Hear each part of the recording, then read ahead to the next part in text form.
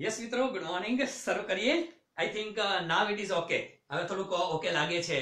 Okay don't worry ચિંતા ના કરો. કારણ કે થોડું ઘણું નેટવર્ક કનેક્શન લાઇટિંગનો પ્રોબ્લેમ છે અને એના પરિણામે આ વીડિયો જે પોઝ થયેલો હતો ડોન્ટ વરી ફરી પાછા આપણે શરૂ કરીએ આજના કરંટ અફેર્સના સેશનની અંદર. જે વિદ્યાર્થીઓ યુટ્યુબની અંદર જોવે છે લોકો ચિંતા ના કરતા, કે સર આટલી બધી વાર પછી કેમ તમે આવ્યા? આ શું છે? હા ફેસબુક લાઈવ વાળા વિદ્યાર્થી મિત્રો, ફરી પાછા લાઈવ આવી જાઓ. યસ શરૂ કરીએ છીએ આજના કરંટ અફેર્સના સેશનની ઠીક છે મિત્રો? વાત આપણે કરતા હતા મિત્રો, શરૂ કરેલી હતી મિત્રો. આજની વાત આપણે જે શબ્દ વાત કરેલી હમણાં હેફા. યસ મિત્રો, ફરી પાછા પહેલેથી આપણે લઈએ એકાદ મિનિટનો સમય છે. બહુ ચિંતા ના કરો હેફા. શા માટે મિત્રો અત્યારે હેફા લાઇમલાઇટની અંદર છે? એની પાછળનું કારણ છે મિત્રો કે હેફા પેલા તો છે શું? અને હેફાએ એવું કીધું કે અમે બે ત્રણ દિવસ પહેલાના મિત્રો ન્યૂઝ છે લાસ્ટ વીકેન્ડના અને હેફાએ એમ કીધું કે અમે હાયર એજ્યુકેશન માટે ઓગણત્રીસ હજાર કરોડની yes twenty nine thousand crore રૂપિયાની લોન સેન્કશન કરેલી છે. કોણે હેફાએ તો આપને પ્રશ્ન થાય કે, સર, આ લોન કોના માટે હતી? આપણા માટે હતી? ના, મિત્રો, આ લોન આપણા માટે નથી. પરંતુ હેફા જે છે ને, એ છે શું, મિત્રો?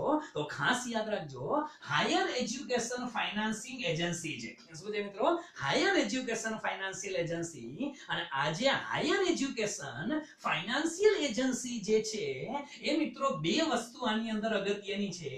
એક તો કહી તો કે, ભારતની મિનિસ્ટ્રી ઓફ એચઆરડી યાદ રાખજો મિત્રો, પરીક્ષાની અંદર આપણે જે પ્રશ્નો પૂછાય છે ને, એ આવા પ્રશ્નો પણ પૂછવામાં આવે છે. કદાચ તમને ડાયરેક્ટ નહીં પૂછે કે હેફાએ કેટલા કરોડની લોન સેન્કશન કરેલી છે. પ્રશ્ન એવો પૂછે કે હેફા પેલા તો છે શું? તો કે હાયર એજ્યુકેશન ફાઇનાન્સિંગ એજન્સી છે અને એ હાયર એજ્યુકેશન ફાઇનાન્સિંગ એજન્સી એ કઈ રીતે બનેલી છે? તો મિત્રો યાદ રાખજો ભારતની મિનિસ્ટ્રી ઓફ એચઆરડી અને પ્લસ મિત્રો Canara bank plus Canara bank આ બંનેના સહયોગથી બનાવવામાં આવેલી ફાઇનાન્શિયલ એજન્સી છે, જેને આપણે નામ આપીએ છીએ મિત્રો. હેફા. સેના માટે હેફાની રચના કરવામાં આવેલી છે. એ વસ્તુ પણ અગત્યની છે મિત્રો, કે આ હાયર એજ્યુકેશન જે એજન્સી જે છે એ છે શું? ખાસ કરીને મિત્રો, આ એજન્સી છે ને એ કોને લોન આપે છે? આપણે કીધું કે ઓગણત્રીસ હજાર કરોડની લોન આપી છે, તો સ્ટુડન્ટને નહીં મિત્રો, આ એજન્સી દ્વારા જે લોન આપવામાં આવે છે એ લોન કોને આપવામાં આવે છે? તો કે ભારત સરકારના જે હાયર એજ્યુકેશનના ઇન્સ્ટિટ્યૂટ છે. યસ મિત્રો, જે હાયર એજ્યુકેશન માટેના જે ઇન્સ્ટિટ્યૂટ છે, એને ઇન્ફ્રાસ્ટ્રક્ચર ડેવલપમેન્ટ કરવા માટે જે લોન આપવામાં આવે છે મિત્રો, આ એ હેફા છે. હાયર એજ્યુકેશન ને હાયર એજ્યુકેશનલ ઇન્સ્ટિટ્યુશન છે અને એમાં પણ મિત્રો ખાસ કરીને કોને લોન આપે છે? તો કે આઈઆઈટીઝ ને લોન આપે છે. યસ મિત્રો ઇન્ડિયન ઇન્સ્ટિટ્યૂટ ઓફ ટેકનોલોજીસ ને લોન આપે છે. એવી રીતે એનઆઈટીઝ ને લોન આપે છે. નેશનલ ઇન્સ્ટિટ્યૂટ ઓફ ટેકનોલોજીસ છે એને પણ લોન આપવામાં આવે છે.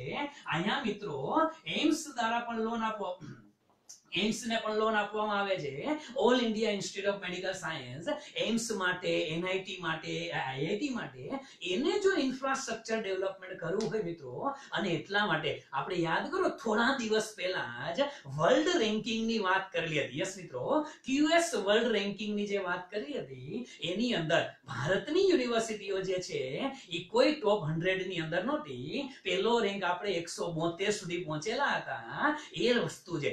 આવા સંજોગોમાં ભારતની જે યુનિવર્સિટીઝ જે છે, ભારતની જે આઈઆઈટીસ છે, એ લોકોને હાઈ ક્લાસ જેને કહેવાય ઇન્ફ્રાસ્ટ્રક્ચર ડેવલપમેન્ટ કરી શકે. વિદ્યાર્થીઓ માટે સારામાં સારી લેબોરેટરી વિદ્યાર્થીઓ માટે સારામાં સારી સગવડતા મળી રહે એવું ઇન્ફ્રાસ્ટ્રક્ચર તૈયાર કરે, એના માટે મિત્રો આ સંસ્થા કામ કરે છે, એનું નામ છે મિત્રો હેફા. શું કામ લાઇમલાઇટમાં છે? એનું કારણ છે કે છેલ્લા ઘણા સમયથી મિત્રો ભારત દેશ એ ભા- આપણા એજ્યુકેશન પાછળ વિચાર કરે છે. એજ્યુકેશનનો કઈ રીતે વિકાસ કરવો? એજ્યુકેશનનું ડેવલપમેન્ટ કેમ કરવું? અને વર્લ્ડની બેસ્ટ યુનિવર્સિટીઝ ભારત દેશમાં કેમ સ્થાપવી? એના માટે આપણે જ્યારે વિચાર કરતા હોય, ત્યારે આ હેફાની કામગીરી ખૂબ જ અગત્યની છે મિત્રો. અને એને એમ એમ પણ કીધેલું છે કે આ લોન જે છે ને અત્યારે મિત્રો ઓગણત્રીસ હજાર કરોડની લોન છે. પણ વર્ષ બે હજાર બાવીસ સુધીમાં એ પણ યાદ રાખજો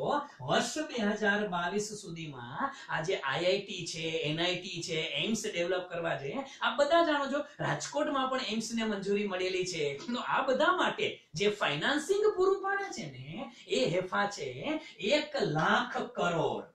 યસ મિત્રો. એક લાખ કરોડ રૂપિયાનું ફાઇનાન્સિંગ કરવાનો ટાર્ગેટ કોને રાખેલો છે? એફઆઈ રાખેલો ટાર્ગેટ છે. સેના માટે? તો કે આ હાયર એજ્યુકેશન જે ઇન્સ્ટિટ્યૂટ છે, એના માટેનો છે. તો આ વસ્તુ આપણા મગજમાં હોવી જોઈએ અગત્યની કે ખાસ કરીને કોલેજ હોય યુનિવર્સિટી હોય, એના માટે આ બધી વસ્તુઓ ધ્યાનમાં રાખે છે. એક વસ્તુ એ પણ કહું, મિત્રો, યાદ કરો, બે હજાર સત્તર સોરી અઢાર, ઓગણીસ. તમે લોકો કદાચ જૂની તૈયારી કરવાવાળા કોઈ વિદ્યાર્થી હોય કે જૂનું બજેટ જોયું હોય તો ખબર હશે. બે હજાર અઢાર ઓગણીસનું જે બજેટ હતું ને મિત્રો, એ ભારતના બે હજાર અઢાર ઓગણીસ ના બજેટની અંદર એક પ્રોગ્રામ આવેલો હતો. મિત્રો આપ બધા જાણતા હશો, એને નામ આપેલું હતું રાઈસ ઈ આ RISE નામનો પ્રોગ્રામ છે ને મિત્રો, એ પણ આના માટે જ હતો. શું કામ ને? એક સિમ્પલ વસ્તુ તમને લોકોને કહો મિત્રો, કે માની લો માની લો કે આ RISE પ્રોગ્રામ સેના માટે છે? એ હેફા અંતર્ગત જ છે કે સ્ટુડન્ટ જે જગ્યાએ છે મિત્રો, કદાચ તમારામાંથી કોઈ ગ્રામ્ય વિસ્તારના વિદ્યાર્થીઓ હશે, તો તમે જોયું હશે કે જે આપણી સરકારી સ્કૂલ હતી, મોટા પ્રાઇવેટ સ્કૂલની અંદર મોટા ભાગે બહુ ઓછું જોવા મળે છે. કદાચ હોય તો મને ખબર નથી, પણ સરકારી સ્કૂલમાં તમે જોતા હશો કે જે ક્લાસમાં આપણે ભણતા હોય ને, એ ક્લાસમાં ઓલા બે બાય ત્રણ ના ચાર્ટ ટીંગાડેલા હોય. એની અંદર કક્કો લખેલો હોય, એની અંદર બારકશ્રી લખેલી હોય, એની અંદર એબીસીડી લખેલી હોય, એ ચારે બાજુ છે ને આવા ચાર્ટ ચોંટાડેલા હશે. આવા જે ચાર્ટ ચોંટાડેલા છે ને, એ પ્રવૃત્તિ એટલે શું છે મિત્રો? તો કે રીવાઇટલાઇઝેસિંગ છે. શું છે? આ જે રાઇઝ પ્રોગ્રામ છે ને, એનું ફૂલ ફોર્મ પણ લખી નાખો મિત્રો. પરીક્ષામાં આવેલો પ્રશ્ન છે, શું છે રાઇઝ એટલે? રિવાઇટલાઇઝિંગ શું છે revitalizing infrastructure system in education revitalizing revitalizing infrastructure system in education છે. તો રીવાઇટલાઇઝિંગ એટલે શું મિત્રો? તો રીવાઇટલાઇઝિંગ એટલે કઈ નથી. સિમ્પલ ભાષાની અંદર કહો મિત્રો કે કોઈ પણ ક્લાસરૂમ જે છે, શૈક્ષણિક સંસ્થાનો કોઈ ક્લાસરૂમ હોય, એ ક્લાસરૂમની ચારે બાજુ જે દિવાલ છે, એ દિવાલની અંદર તમે એવું કંઈક ઇનોવેટિવ આઈડિયા કરો કે જેથી કરીને વિદ્યાર્થીઓ દિવાલની સામે જોવે ને, તો એને કંઈક નોલેજ મળે. ફોર એક્ઝામ્પલ કે કોઈ પણ પ્રકારની જે શૈક્ષણિક સંસ્થાઓની દિવાલ જે છે, એ માત્ર બ્લેન્ક કલરની નહીં વ્હાઇટ કલરની નહીં, પરંતુ એની અંદર તમે લોકો ઇન્ડિયાના મેપ લગાવી દો એની અંદર તમે લોકો વર્લ્ડના મેપ લગાવી દો એની અંદર એ લોકોને અભ્યાસમાં ઉપયોગી થાય. એવા કોઈ પોસ્ટર્સ લગાડો, એવા બેનર્સ લગાડો. That is called revitalizing yes મિત્રો? અને આ કન્સેપ્ટ છે ને બે હજાર અઢાર ઓગણીસના બજેટની અંદર હતો. અને એના અનુસંધાને શૈક્ષણિક સંસ્થાઓ માટે પણ આ હેફા કામગીરી કરવાની શરૂ કરેલી છે. તો અપેક્ષા રાખું છું મિત્રો કે દરેક મુદ્દા જે છે એ મગજમાં ક્લિયર થઈ ગયા હશે. ઓકે આગળ વધીએ. આગલા મુદ્દા માટે. યસ હેફા પછી. ત્યાર પછીનો આજે બીજો ન્યૂઝ છે મિત્રો. એ પણ આપણા માટે સૌથી વધુ અગત્યનો ન્યૂઝ છે. અને શું અગત્યનો ન્યૂઝ છે? તો કે બીજો ન્યૂઝ ખાસ કરીને આવ્યો છે મિત્રો, એ ક્યાંથી? તો કે હમણાં તમને લોકોને ખબર હોય કે થોડા સમય પહેલા, આમ ન્યૂઝ જૂનો છે, પણ લાઇમલાઇટમાં અત્યારે શું કામ આવ્યો? એની મારે તમને વાત કરવી છે. જૂનો ન્યૂઝ અત્યારે લાઇમલાઇટમાં શું કામ આવ્યો? એની પાછળનું કારણ તમને કહું. તો એક તમે શબ્દ સાંભળેલો છે rule of law index yes મિત્રો? આવો શબ્દ સાંભળેલો હશે આપ લોકોએ. રૂલ ઓફ લો ઇન્ડેક્સ હવે આ રૂલ ઓફ લો ઇન્ડેક્સ જે છે, ઘણા ખરા વિદ્યાર્થીઓને એવો પ્રશ્ન લાગે કે, સર, આ રૂલ ઓફ લો ઇન્ડેક્સ જે છે એ તો સર જૂનું થઈ ગયું. હા, મિત્રો રૂલ ઓફ લો ઇન્ડેક્સ છે, એ તો માર્ચ મહિનાની અંદર બહાર પાડવામાં આવેલો હતો અને એ રૂલ ઓફ લો ઇન્ડેક્સ જે છે, જે માર્ચ મહિનાની અંદર આ ઇન્ડેક્સ બહાર પાડવામાં આવેલો હતો ને, મિત્રો, એ ઇન્ડેક્સની અંદર યસ મિત્રો, સમજજો કે આ જે રૂલ ઓફ લો ઇન્ડેક્સ છે, એ ઇન્ડેક્સની અંદર ભારતનો ક્રમ કેટલામો હતો? તો કે ઇન્ડિયાનો ક્રમ છે ને મિત્રો, એ 69th હતો કેટલામો ક્રમ હતો? 69મો ક્રમ ભારતનો હતો લો ઓફ રૂલ ઇન્ડેક્સની રૂલ ઓફ લો ઇન્ડેક્સની અંદર. અને એના અનુસંધાને અત્યારે લાઇમલાઇટમાં છે. શું છે? આખા મુદ્દાને આપણે ચર્ચા કરવી છે મિત્રો, ચિંતા ના કરો. આપણે બહુ પહેલેથી શરૂઆત કરીએ કે રૂલ ઓફ લો ઇન્ડેક્સ છે શું? પહેલી વસ્તુ તો આ ઇન્ડેક્સ જે છે. એ બહાર કોના દ્વારા પાડવામાં આવે છે?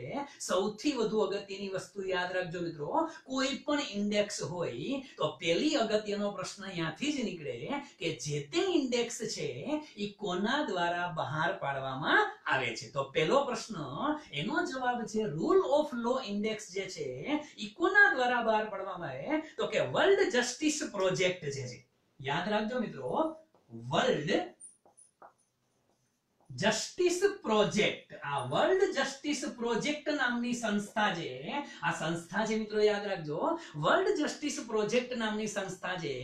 એના દ્વારા દર વર્ષે વિશ્વના દરેક દેશને ધ્યાનમાં રાખી અને આ લો ઓફ રૂલ ઇન્ડેક્સ બહાર પાડવામાં આવે છે. અને આ રૂલ ઓફ લો ઇન્ડેક્સ છે. સેના માટે છે મિત્રો. આ વર્ષે આપણે કીધું કે ભારતનો ક્રમ જે છે એ 69th છે. ગયા વર્ષે ભારતનો ક્રમ જે છે એ મિત્રો 68 હતો. અડસઠમાંથી એક સ્થળ પાછળ જઈ અને આપણે ઓગણસિત્તેર છીએ. કેટલા દેશમાંથી? તો કે એકસો ને અઠ્યાવીસ દેશમાંથી. પ્રશ્ન એ સમજવાનો છે કે આ તો ઠીક છે. રોલ ઓફ લો ઇન્ડેક્સમાં આપણું સ્થાન પાછળ છે એ પાછળ હોવાનું કારણ શું છે? ભારતના જો કાયદાઓ જે છે એ ભારતના લો જે છે એ શું એટલા બધા નબળા છે? કયા કારણો છે અને કયા ક્રાઇટેરિયાને આધારે મિત્રો આ ઇન્ડેક્સ આપવામાં આવે છે એ સૌથી વધુ અગત્યનો છે.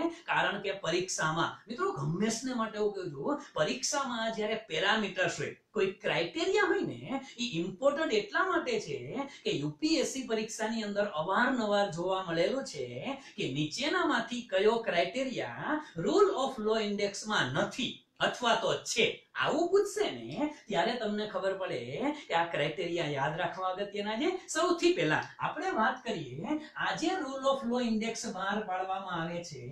ઈ ઇન્ડેક્સ માટે કયા ક્રાઇટેરિયા ધ્યાનમાં રખાય છે? અને કયા ક્રાઇટેરિયામાં ભારતનું સ્થાન કેટલામું છે ને? એ પણ પહેલા સમજીએ અને પછી સમજીએ. કે અત્યારે પાછો શું કામ લાઇમલાઇટમાં આવ્યો? સાહેબ, તમે કહો છો કે ઇન્ડેક્સ તો માર્ચમાં બહાર પડી ગયો. આ માર્ચમાં બહાર પડી ગયો. તો સાહેબ, અત્યારે શું કામ ભણાવો છો જૂન મહિનામાં? પ્રશ્ન એ છે મિત્રો કે આ ઇન્ડેક્સ બહાર પડ્યા પછી ભારત દેશમાં એક વ્યક્તિ, એક વકીલે સુપ્રીમ કોર્ટની અંદર એક પિટિશન દાખલ કરેલી હતી. અને એના અનુસંધાને આ વડી લાઇમલાઇટમાં આવ્યો છે. આપણે સંપૂર્ણ ચર્ચા કરશું કે પિટિશન શેના માટેની હતી, શું હતું? પણ પેલા જેના માટે પિટિશન દાખલ થઈ, એ ઇન્ડેક્સ શું છે એ તો આપને ખબર હોવી જોઈએ. એટલા માટે મિત્રો આપણે રહીએ કે રૂલ ઓફ લો ઇન્ડેક્સ છે, કયા ક્રાઇટેરિયાના આધારે નક્કી થાય. આપણે એમ કહી જઈએ કે ભારત માટે જે ક્રાઇટેરિયા જે છે, એ વિશ્વના દરેક દેશ માટે એકસો અઠ્યાવીસ દેશનું મૂલ્યાંકન કઈ રીતે કરે છે?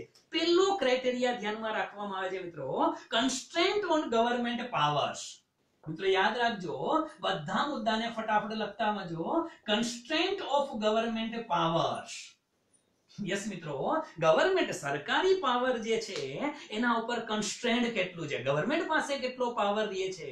આ વસ્તુ અગત્યની છે એક ક્રાઇટેરિયા આ ધ્યાનમાં રાખવામાં છે. કન્સ્ટ્રેન્ટ ઓન ગવર્મેન્ટ પાવર ત્યાર પછી બીજો મુદ્દો ધ્યાનમાં રાખે છે, મિત્રો એબ્સન્સ ઓફ કરપ્શન યસ મિત્રો. બીજો મુદ્દો ધ્યાનમાં રાખવામાં આવે છે એબસન્સ ઓફ કરપ્શન દેશની અંદર કરપ્શનની કેટલી ઉણપ છે? એટલે કરપ્શન કેટલું ઓછું છે?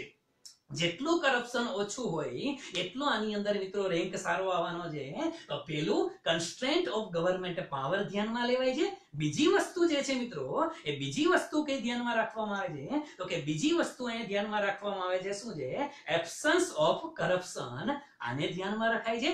ત્રીજી વસ્તુ અહીંયા ધ્યાનમાં રાખવામાં આવે છે મિત્રો ઓપન ગવર્નન્સ યસ મિત્રો ઓપન ગવર્નન્સ આના government sorry open government open government એને કન્સિડર કરવામાં આવે છે. આ ત્રીજો મુદ્દો છે કે ગવર્મેન્ટ્સની અંદર ખુલ્લાપણું, શાસકીય ખુલ્લાપણું કેટલું છે? ગવર્મેન્ટની અંદર ઓપનનેસ કેટલી છે?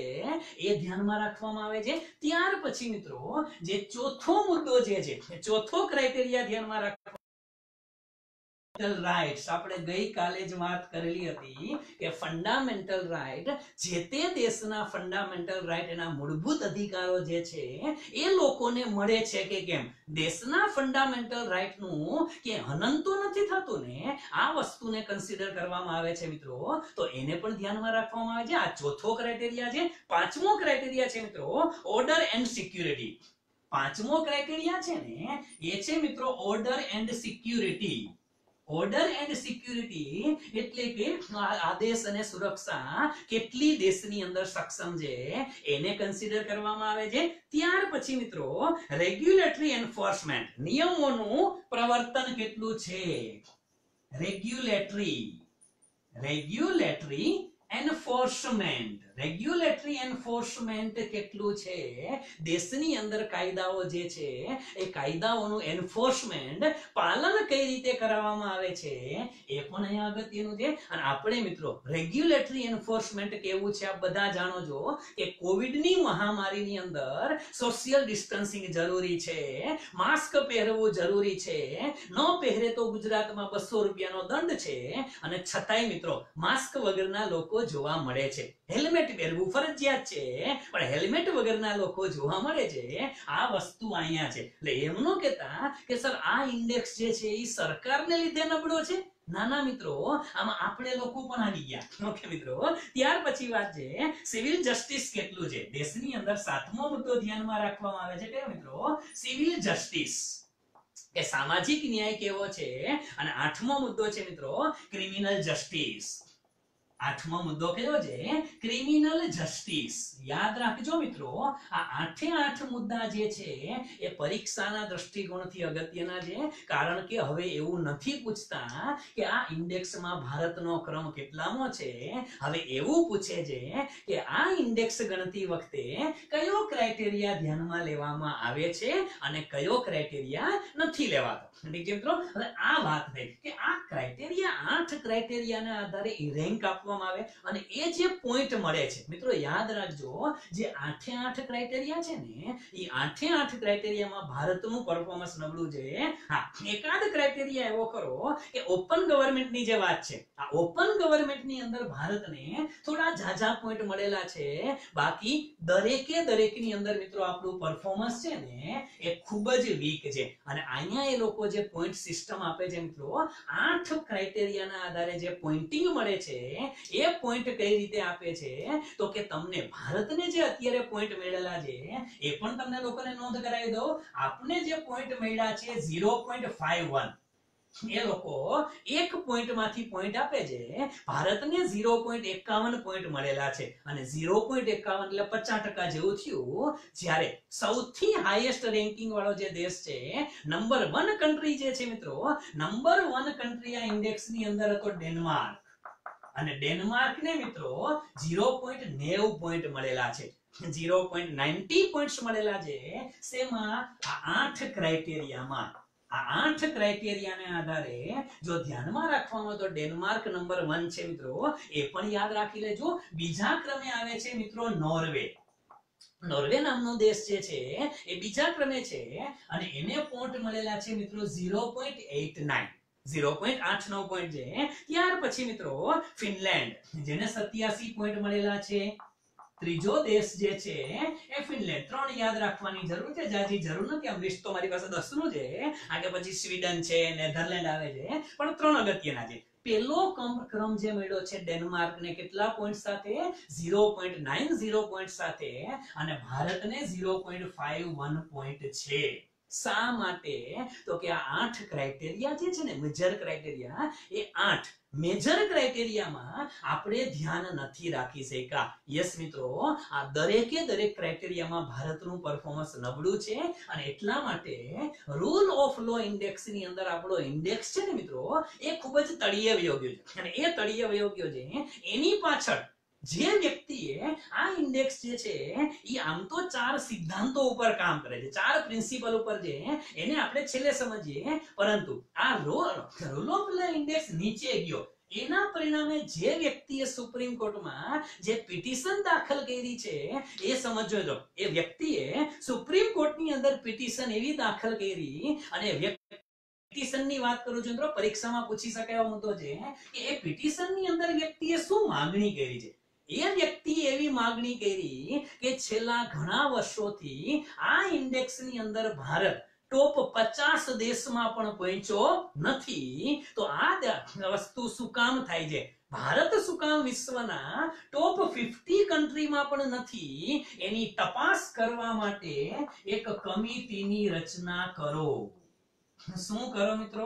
આ તપાસ કરવા માટે કે કારણો શું છે? શા માટે ભારત દેશ જે છે એ પચાસ દેશની યાદીમાં પણ ક્યારેય નથી એવો? ગયા વર્ષે અડસઠમો ક્રમ, આ વખતે ઓગણસિત્તેરમો ક્રમ. કેમ આપણો રેન્ક પાછળ છે? આ આઠ ક્રાઇટેરિયા શું કામ થાય છે? એના માટે કમિટીની રચના કરો. બીજી વસ્તુ એ વ્યક્તિએ દાખલ કરેલી હતી પિટિશનની અંદર એ કઈ હતી. બીજો મુદ્દો એને એવો કીધો કે આ જે કમિટી બને જે કમિટી બને, એ કમિટીને સર્ચ કરવાનું કયો અથવા સ્ટડી કરવાનું કયો? કમિટી શેનો સ્ટડી કરશે?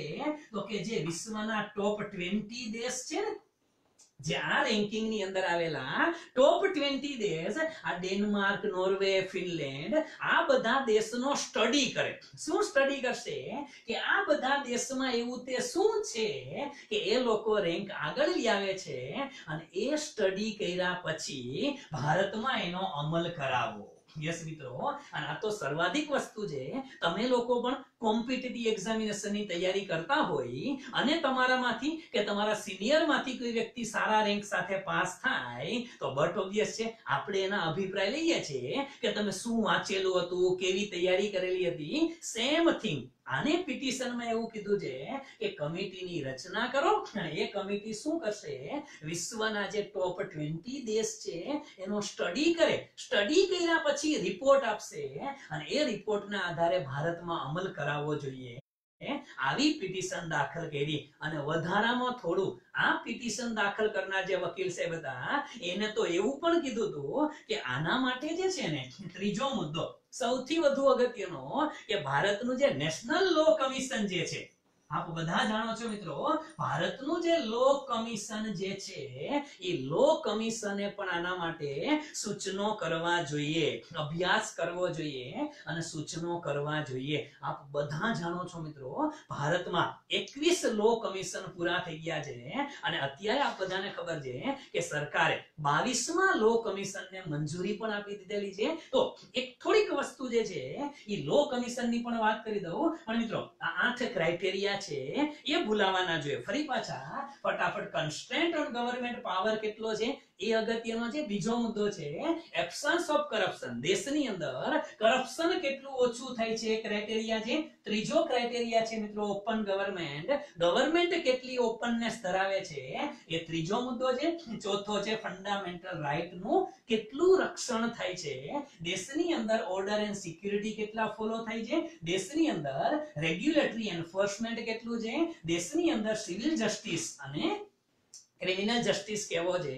એ આઠ ક્રાઇટેરિયાના આધારે નક્કી કરવામાં આવે છે આ ઇન્ડેક્સ એ ઇન્ડેક્સની પિટિશનમાં ભાઈએ કીધું કે લો કમિશનને પણ જવાબદારી સોંપો કારણ કે લો કમિશન અને આ બધા જાણો છો કે ભારતનું જે લો કમિશન છે ને, જે અત્યારે એકવીસમું લો કમિશન પૂરું થયું છે. એની પણ થોડીક વાત કરી નાખી. એકવીસમું લો કમિશન જે છે, એ પોતાનો રિપોર્ટ સબમિટ કર્યો છે અને ભારતે બાવીસમાં લો કમિશનને મંજૂરી આપેલી છે. અત્યારે બાવીસમું લો કમિશન જે છે, એને મંજૂરી આપેલી છે. અને આ બધા જાણો છો કે ભારતમાં સ્વતંત્ર ભારતની અંદર આ જે લો કમિશન છે ને, એની રચના ક્યારે થઈ? આ બધા જાણો છો ઓગણીસો ને પંચાવનની અંદર. યસ મિત્રો, સ્વતંત્ર ભારતની વાત કરું છું. સ્વતંત્ર ભારતની અંદર જે લો કમિશન છે ઓગણીસો પંચાવનની અંદર શરૂઆત થઈ હતી અને એ વખતે એના જે અધ્યક્ષ હતા એ કોણ હતા મિત્રો? M C Setalvad. અને આ કમિટી પણ હતી, આમ જોવો તો. શીતલવાડ. સૌથી પહેલા અધ્યક્ષ હતા લો કમિશનના કોણ? શીતલવાડ હતા. આ પણ યાદ રાખજો લો કમિશન કામ શું કરે? તો કે ભારત દેશમાં લો મિનિસ્ટ્રી આપણી છે. ભારતમાં જે કાયદા બનાવે છે, એ લો મિનિસ્ટ્રી ભારતની લો મિનિસ્ટ્રીને સલાહ સૂચન આપવાનું કામ કોણ કરે? લો કમિશન કરે છે. એટલે ભારતનું જે નેશનલ લો કમિશન છે, એ પણ અગત્યનું છે. પાંચ મેમ્બર હોય છે આની અંદર. એક અધ્યક્ષ હોય છે અને પ્લસ ચાર સભ્યો હોય છે. પાંચ સભ્યોની કમિટી બને છે. એ નેશનલ લો કમિશન છે એક યાદ રાખજો મિત્રો, કે નેશનલ લો કમિશન છે, એના માટે એ પણ યાદ રાખી લેજો. ઇટ્સ એક્ઝિક્યુટિવ બોડી કેવી બોડી છે આ એક્ઝિક્યુટિવ બોડી છે, એટલે કે સંસદમાં ઠરાવ પસાર કરીને બને છે, યાદ રાખજો કોઈ કાયદા મુજબ બનતી નથી. આ કે ઘણાને પ્રશ્ન થાય સાહેબ કે લો એટલે કાયદો. જો પ્રશ્ન પરીક્ષામાં આવા જ પૂછે છે કે લો એટલે કાયદો, અને કોઈક સંસ્થાની રચના કોઈ કાયદા મુજબ થતી હોય કોઈ સંસ્થાની રચના, કોઈ કાયદા મુજબ થતી હોય, તો આપણે એને સ્ટેચ્યુટરી બોડી કહી છીએ અને જો બંધારણ મુજબ થતી હોય, તો કોન્સ્ટિટ્યુશનલ બોડી કહી છીએ પણ મિત્રો યાદ રાખજો, આ કાયદા માટેની રચના બોડી છે. પણ એ કાયદા મુજબ આની રચના નથી થઈ લો કમિશનની એટલે યાદ રાખજો, આ સ્ટેચ્યુટરી બોડી નથી. નેશનલ લો કમિશન છે, કઈ છે? એક્ઝિક્યુટિવ બોડી છે. સંસદમાં ઠરાવ પસાર કરી અને આ બોડીની રચના કરવામાં આવેલી છે. ઠીક છે મિત્રો? તો આ વસ્તુ આપણા માટે અગત્યની છે. એને પણ યાદ રાખશું. કે ને અત્યાર સુધીમાં એકવીસ લો કમિશન પૂર્ણ થયા. એને મિત્રો બસો ને સત્યોતેર રિપોર્ટ આપેલા છે. અને આગળ ઉપર ભૂતકાળમાં લો કમિશને એ પણ રિપોર્ટ આપેલો હતો મિત્રો, કે ભારતમાં આપણે લોકસભા, વિધાનસભાની ચૂંટણી અલગ અલગ કરીએ છીએ અલગ અલગ ચૂંટણી થાય અને ઇલેક્શન થાય એટલે ખર્ચો થાય. દેશની તિજોરી ઉપર ખર્ચો થાય છે. આ ચૂંટણી બધી મર્જ કરી નાખો. આવું પણ સજેશન આપેલું હતું કોને? નેશનલ લો કમિશને આપેલું હતું અને ઓગણીસો પંચાવનથી ભારત દેશમાં જ. હા આપણને એમ લાગે એ સર, તો એની પેલાનું હતું, એની પેલા મિત્રો હતું, ઘણું આગળ હતું. આપ લોકો કદાચ બંધારણ ભણો છો એની અંદર, અઢારસો તેત્રીસ નો ચાર્ટર્ડ એક્ટ ભણતા હશો. યસ મિત્રો.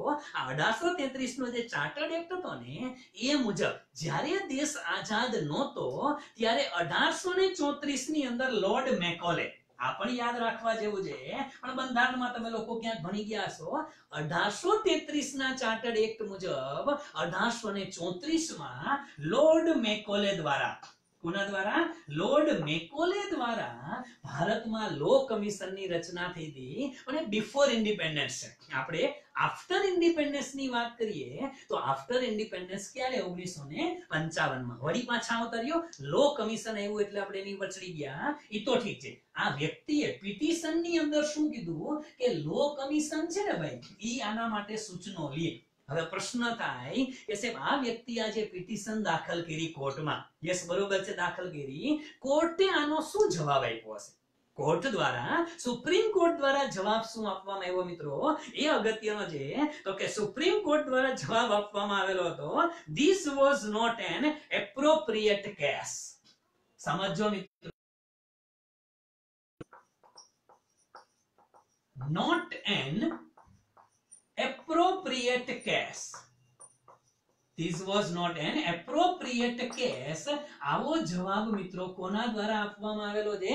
સુપ્રીમ કોર્ટ દ્વારા આપવામાં આવેલો છે કે this was not an appropriate case. એટલે આ બાબત માટે સમજો મિત્રો, કોર્ટ ક્યારેય સરકારને માહિતી કે સરકારને આદેશ ના આપી શકે. યસ મિત્રો સમજો પિટિશન વ્યક્તિએ દાખલ કરી છે, પણ એની સામે સુપ્રીમ કોર્ટે કહી દીધું કે આ બાબત માટે સરકારને સુપ્રીમ કોર્ટ દ્વારા સરકારને આદેશ ન આપી શકાય. સરકારે આ વસ્તુ જાતે સમજવી પડે. આ વસ્તુ અગત્યની છે. પણ મિત્રો પિટિશન થઈ છે અને કોર્ટનો આ જવાબ આવેલો છે. હવે કોર્ટનો જવાબ આવો હોય તો બટ ઓબ્વિયસ છે. સંપૂર્ણ જવાબદારી કોની પડે? સરકારની જવાબદારી પડે છે કે આવા જે ઇન્ડેક્સ છે. ભલે વ્યક્તિએ એક પિટિશન દ્વારા જે સજેશન આપેલા હોય, પણ પિટિશન દ્વારા સજેશન આપેલા હોય તો એને કન્સિડર કરવા જોઈએ. અને ભારતનો રેન્કિંગ જે છે, એ આ જગ્યાએ સારો આવે. કારણ છે મિત્રો કે દેશ જ્યારે ઓગણીસો સુડતાલીસમાં આઝાદ થઈ ગયો હોય, દેશનું બંધારણ ઓગણીસો ને પચાસમાં અમલમાં આવી ગયેલું હોય અને જેને સિત્તેર વર્ષ થઈ ગયા હોય. તો મિત્રો સિત્તેર વર્ષ પછી દેશની અંદર કાયદાકીય વ્યવસ્થાઓ એક એવી સદ્રઢ હોવી જોઈએ કે જેથી કરીને આવા રેન્કિંગની અંદર છે ને આપણે ખૂબ જ સારી જગ્યાએ પરફોર્મન્સ આપી શકીએ. મિત્રો વસ્તુ અગત્યની છે. કે ઘણી વખત જે જેને કઈ જસ્ટિસ છે ને મિત્રો એ ન્યાય. સૌથી વધુ અગત્યનો ન્યાય છે, કારણ કે હવે દેશ આઝાદ છે. જૂના જમાનાની અંદર મિત્રો આપ જાણતા હતા કે જૂના જમાનાની અંદર શું થતું હતું? તો કે જે તે વખતે રાજા રજવાડા હતા અને રાજા રજવાડા વખતે પણ જસ્ટિસ તો મળતા હતા. યસ મિત્રો? પણ એ વખતે શું હતું કે એ વખતે માત્ર એવી ડાયરેક્ટ સજા હોય. ડાયરેક્ટ સજા હોય કે આ કરી નાખો, આ કરી નાખો. ડાયરેક્ટ ઇનામ આપે ડાયરેક્ટ સજા આપે. પણ હવે હવે તો દેશ આઝાદ છે, દેશની અંદર પોતાનું કોન્સ્ટિટ્યુશન છે, દેશની અંદર પોતાના કાયદા છે, તો લોકોને જસ્ટિસ મળવો જોઈએ અને આ જસ્ટિસ જે છે એ કાયદા મુજબ મળવો જોઈએ. યસ મિત્રો, દેશના તમામ વ્યક્તિઓને સરખા કાયદા લાગુ પડે, દેશના તમામ વ્યક્તિઓને સરખો ન્યાય મળે, એવી વ્યવસ્થા ભારતમાં હજી નથી થઈ શકી અને એ આ ઇન્ટરનેશનલ ઇન્ડેક્સ પરથી મળે છે, મિત્રો, કે એકસો દેશની વાત કરતા હોય વર્લ્ડ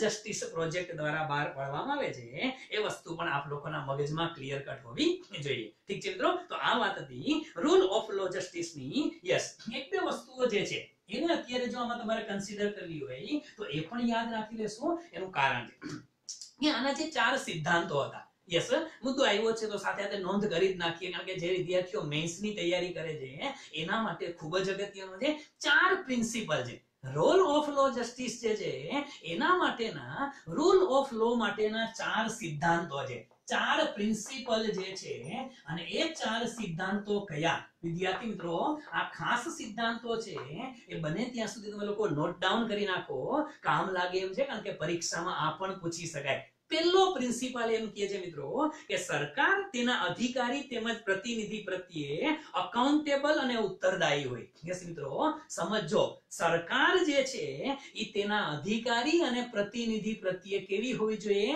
ઉત્તરદાયી એટલે કે અકાઉન્ટેબલ હોવી જોઈએ. સરકાર જે છે, એની અકાઉન્ટેબિલિટી બાંધી દીધી છે, એ જવાબદાર હોવી જોઈએ. આ પહેલો સિદ્ધાંત છે. બીજો સિદ્ધાંત છે કે દેશમાં બનાવવામાં આવેલા જે કાયદાઓ જે છે, એ સરળ, સ્પષ્ટ અને પ્રચલિત અને નિષ્પક્ષ હોવા જોઈએ. દેશના કાયદા કેવા હોવા જોઈએ? સરળ હોવા જોઈએ, સ્પષ્ટ હોવા જોઈએ. નિષ્પક્ષ હોવા જોઈએ. યસ એટલે કોઈ પક્ષની બાજુમાં ઢળતા હોય, એવા ન હોવા જોઈએ મિત્રો. કાયદા બધા નિષ્પક્ષ હોવા જોઈએ, તેમજ વ્યક્તિની અને સંપત્તિની. વ્યક્તિની અને સંપત્તિની રક્ષા કરતા હોવા જોઈએ. દેશના કાયદા જે છે, એ કેવા હોવા જોઈએ? તો કે સ્પષ્ટ હોવા જોઈએ, સરળ હોવા જોઈએ, નિષ્પક્ષ હોવા જોઈએ, વ્યક્તિ અને સંપત્તિની રક્ષા કરે એવા દેશના કાયદા હોવા જોઈએ. આ બીજો સિદ્ધાંત જે યાદ રાખજો મિત્રો, પરીક્ષામાં સેન્ટેન્સ વાળા ક્વેશ્ચનમાં ભટકાશે આવું કાંઈક કે કયો સિદ્ધાંત જે છે, એ રૂલ ઓફ લો નો છે અથવા તો નથી. તો એ આપને ખબર છે. ત્રીજો સિદ્ધાંત છે મિત્રો, કાયદાનું અનુપાલન કરવાની તેમજ લાગુ કરવાની પ્રક્રિયા. કાયદાનું અનુપાલન. અથવા તો કાયદાને લાગુ કરવાની જે પ્રક્રિયા જે છે ને, એ પ્રક્રિયા સરળ અને નિષ્પક્ષ હોવી જોઈએ. કેવી હોવી જોઈએ? સરળ અને નિષ્પક્ષ હોવી જોઈએ. કાયદો તમે એન્ફોર્સ કરો છો, લાગુ કરો છો, એની પ્રોસેસ પણ ગૂંચવડ ભરેલી ન હોવી જોઈએ. સામાન્ય નાગરિકને પણ સમજી શકાય એવી આની પ્રક્રિયા હોવી જોઈએ. આ ત્રીજો અગત્યનો મુદ્દો છે અને ચોથો અગત્યનો મુદ્દો છે કે આ ન્યાય સમક્ષ નૈતિક નિષ્પક્ષ સ્વતંત્ર પ્રતિનિધિ દ્વારા, હા, ન્યાય જે છે ને એ કોના દ્વારા કરવામાં આવે? તો કે ન્યાય કોઈ નિષ્પક્ષ વ્યક્તિ દ્વારા કરવામાં આવતો હોવો જોઈએ. કોના દ્વારા? કોઈ નિષ્પક્ષ અને તટસ્થ વ્યક્તિ દ્વારા ન્યાય કરવામાં આવે. આપ જાણો છો હાઈકોર્ટ છે, સુપ્રીમ કોર્ટ છે, એ હાઈકોર્ટના જસ્ટિસ છે, સુપ્રીમ કોર્ટના જસ્ટિસ છે, નિષ્પક્ષ નિષ્પક્ષ વ્યક્તિ છે. ત્રાહિત વ્યક્તિ દ્વારા ન્યાય કરવામાં આવતો હોવો જોઈએ અને સમાજ દરેક વર્ગના, દેશના દરેક સમાજનું પ્રતિનિધિત્વ જળવાવું જોઈએ. જે ન્યાય થાય છે ને, એ ન્યાયની અંદર દેશના દરેક સમાજનું પ્રતિનિધિત્વ જળવાઈ રહે દરેક સમુદાયનું પ્રતિનિધિત્વ જળવાઈ રહે આવી રીતે ન્યાય કરવો જોઈએ. અને આવા ન્યાય, આપ બધા જાણો છો મિત્રો, કે વર્તમાનમાં બાબરી મસ્જિદ કેસ જે અયોધ્યા વર્ડિક્ટ હતો એ જ અયોધ્યા વર્ડિક્ટની અંદર પણ આપણે સમજીએ છીએ કે દેશમાં સ્વતંત્ર રીતે જે જસ્ટિસ આપવામાં આવ્યો અને સમગ્ર રીતે દેશના તમામ નાગરિકોનું હિત જળવાઈ રહ્યું, પ્રતિનિધિત્વ જળવાઈ રહ્યું, એવો ચુકાદો હતો. આ વસ્તુ તો છે જ, પરંતુ આ ચાર સિદ્ધાંતોની અંદર પણ હજુ ભારત ક્યાંક ઊણું ઉતરે છે. ક્યાંક ભારતની અંદર આ સિદ્ધાંતોનું હનન થતું હોય એવું લાગે છે. અને એટલા માટે મિત્રો, આ ભારત દેશનો રેન્ક ખૂબ જ પાછળ છે. ખૂબ જ પાછળ છે. જે વિશ્વના ટોપ લેવલના country zero point ninety point સાથે છે અને ભારત ઝીરો પોઈન્ટ એકાવન પોઈન્ટ સાથે છેક ઓગણસિત્તેરમાં ક્રમે છે એ આપણે સમજવું છે. ઠીક છે મિત્રો? તો આજનો સેશન છે થોડું ઇન્ટરપ્ટ થયું છે થોડા ડિસ્ટર્બન્સ થયા છે. બે ત્રણ વખત રિસ્ટાર્ટ કરવો પડ્યો છે. બહુ ચિંતા ના કરતા. જે વિદ્યાર્થીઓ યુટ્યુબ